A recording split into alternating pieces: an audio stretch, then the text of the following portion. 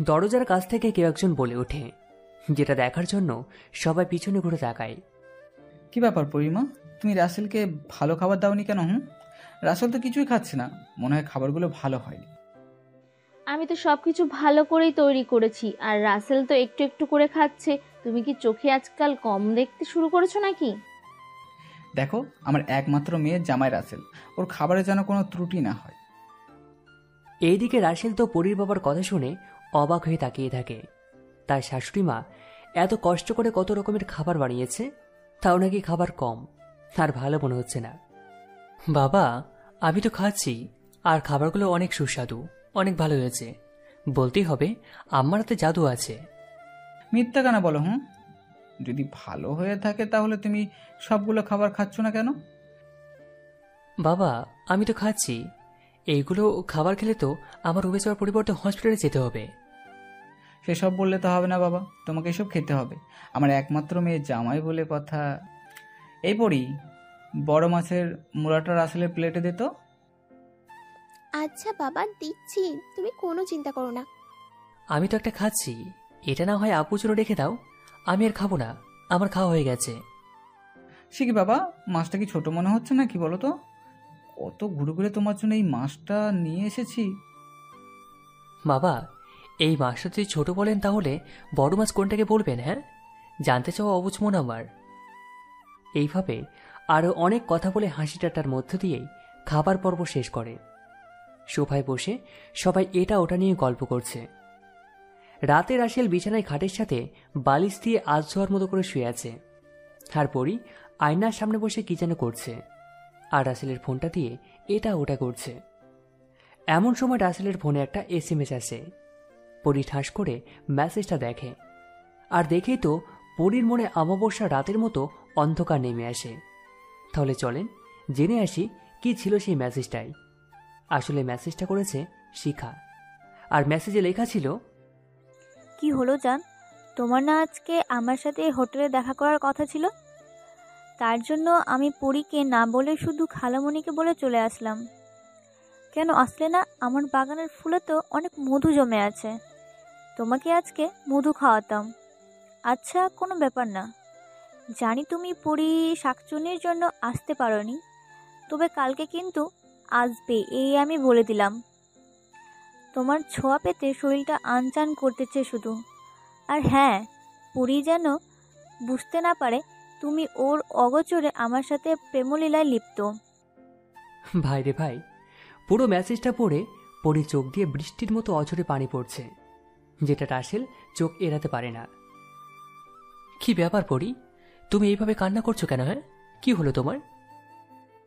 তুমি আমার সাথে এমন করবে? কোনোদিন কল্পনাও করতে পারিনি। কি কমতি ছিল আমার মাঝে যে তুমি এরকম প্রেম লীলায় জড়িয়ে গেছো? বলো আমাকে। কি হলো বলো? কি বলছো এসব? আর আমি কার সাথে প্রেম করতে গেলাম শুনি? শুধু শুধু মিথ্যা অপবাদ কেন দিচ্ছ? চুপ একদম চুপ। মিথ্যে কেন বলছো?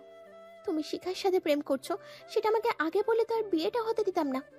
কেন দুটো জীবন নষ্ট করলি তুই? কি বলছো এসব? আমি কেন শিখার সাথে প্রেম করতে যাব? আমার কি খেতে কোনো কাজ কাম নেই নাকি? রাসেলের কথা শুনে পরীর অনেকটা রাগ উঠে যায়, যেটা পরীর পক্ষে কন্ট্রোল করা সম্ভব হয় না। ঠাস করে রাসেলের গালে লাগিয়ে দেয়। রাসেল অবাক হয়ে গালে হাত দিয়ে দাঁড়িয়ে থাকে। আজকে রাসেলের চোখে পানি, পরি বলতে থাকে কুত্তার বাচ্চা তুই কেন এরকম করলি? আমার কি কোনো কিছুর কমতি ছিল? নাকি তোকে পুরোপুরি সুখ দিতে পারতাম না? বল। পড়ি অনেক বলেছ। এবার থামো। যদি আমাকে মিথ্যা অপবাদ দিতে চাও তাহলে সোজাসুজি দিলেই তো হয়। এইভাবে নানাভাবে কথা বলে সময় নষ্ট করে লাভটা কি? আরে তোকে আর কি বোঝাবো? তুই তো একটা কাল সাপ। তোকে সেই ছোটবেলা থেকে ভালোবাসি। আর তুই কিনা সামান্য একটা মেয়ের জন্য আমার সাথে এমন করলি? দেখো তুমি এমনিতে আমার উপরে দোষারোপ করতে পারো না। কিসের ভিত্তিতে এসব বলছো? পরি রাসেলকে আবারও ঠাস ঠাস করে দুইটা থাপ্পড় দিয়ে রাগী কণ্ঠে বলে ওঠে বাহ এসব শুনেও বুঝতে পারছিস না। আমি তো আর এমনি এমনি বলছি না। তোর প্রমাণ চাই তাই না? এই দেখ তোর মাসুকার সাথে হোটেলে যেতে চেয়েছিলি সেটাই দেখ। রাসেলের দিকে ফোনটা এগিয়ে দিয়ে রাগী গলায় বলে উপরের কথাগুলো পড়ি। রাসেলের ঠোঁট কেটে রক্ত বেরোচ্ছে। সেদিকে পরির কোনো খেয়ালই নেই। রাসেল অনেক কষ্ট হচ্ছে। চোখ দিয়ে যেন অঝোর ধারায় শ্রাবণের বৃষ্টি হচ্ছে। রাসেল কষ্টের সাথে মেসেজটা পড়ে তো পুরোই অবাক হয়ে যায়। এমনটা সে কখনো কল্পনা করতে পারেনি। হুম, পরি দেখো এসব মিথ্যে। আমি তোমার বোনকে কখনো এমন করে ফোন করিনি। তুই যদি না করে থাকিস তাহলে শিখা এসব কেন বলল? আমি ওসব কিছু জানি না। তুমি আমাকে বিশ্বাস করো? আমি এসব কিছু করিনি। আমার সাথে মনে হয় কোনো তোমার বোন মিথ্যা গেম খেলার চেষ্টা করছে। আরে বিশ্বাস তো তাকে করা যায় রে যে বিশ্বাসের মর্যাদা রাখতে পারে। তোর মতো নেমো খারামিকে বিশ্বাস করব আর আমি নিজে ঠকবো সেটা আর হতে চাই না। প্লিজ পড়ি বোঝার চেষ্টা করো। আমি এসব কিছু করিনি। তোমার বোনকে ফোন দিয়ে শুনতে পারো তুমি। রাসেলের এমন কথা শুনে পরি আরও উত্তেজিত হয়ে যায়। জোরে জোরে কথা বলতে শুরু করে যার জন্য পরীর মা বাবা দুজনেই দৌড়ে চলে আসে। আর পরীকে জিজ্ঞাসা করে পরি এইভাবে চিৎকার করছিস কেন? আর রাসেলের ঠোঁট কেটে রক্ত বের হচ্ছে কেন? পরি তখন সম্পূর্ণ ঘটনা ওর বাবা মাকে খুলে পড়ে যেটা শুনে দুজনেই অনেকটা রেগে যায়। আর পরির বাবা রাসেলের গালে ঠাস ঠাস করে থাপ্পড় লাগিয়ে দেয়। তোকে নিজের সন্তানের মতো ভালোবেসেছিলাম। আর তুই তার এই প্রতিদান দিলি? ছি তুই কি করে এরকম পরকীয়ার মতো জঘন্য কাজ করতে পারলি? বাবা বিশ্বাস করেন আমি সব কিছু করিনি সবটা শিখে সাজানো নাটক। পরীর মা রাসেলের গালে ঠাস ঠাস করে থাপ্পড় লাগিয়ে দেয়। এমনিতেই ঠোঁট কেটে রক্ত পড়ছিল আর এখন মনে হচ্ছে রক্ত কোনো বাধায় মানছে না। খুব কষ্ট হচ্ছে রাসেলের। চুপ কর লম্পট তোর মুখ দেখতে আমারও ঘৃণা লাগছে। একটা মেয়ে কেন তোর সাথে নাটক করার জন্য তার দামি জিনিস ইজ্জতের ফালুদা করতে যাবে? আপনারা শিখাকে ফোন করে জেনে নেন তাহলে আপনাদের ভুল ধারণাটা ভেঙে যাবে। দাঁড়া তোর এই ইচ্ছাটাকে পূরণ করতেছি। পড়ি ওর ফোন থেকে শিখিকে কল দে তো। ঠিক আছে বাবা আমি এক্ষুনি দিচ্ছি। পরি রাসেলের ফোন থেকে শিখাকে ফোন দেয়। শিখা মনে হয় ফোনটার জন্য অপেক্ষা করছিল। দেওয়া মাত্র রিসিভ করে। হ্যালো জানো। এত সময় পরে আমার কথা মনে হলো। তুমি জানো আমি সেই কখন থেকে তোমার জন্য অপেক্ষা করতেছি।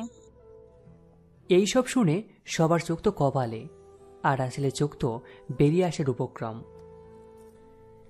এই আপনি সব কি বলছেন? আপনার সাথে আমি কখন কথা বলছি? জান এইভাবে বলো না প্লিজ। সেদিন আমার সাথে শুয়ে বললে আমি নাকি অনেক মজার জিনিস। তাই তো ভালোবাসার পরীক্ষা দিতে আবার শুতে চেয়েছিলাম। আমি তোমার জন্য ইজ্জত কেন? নিজের জীবনটাকে বিলে দিতেও একবার ভাববো না।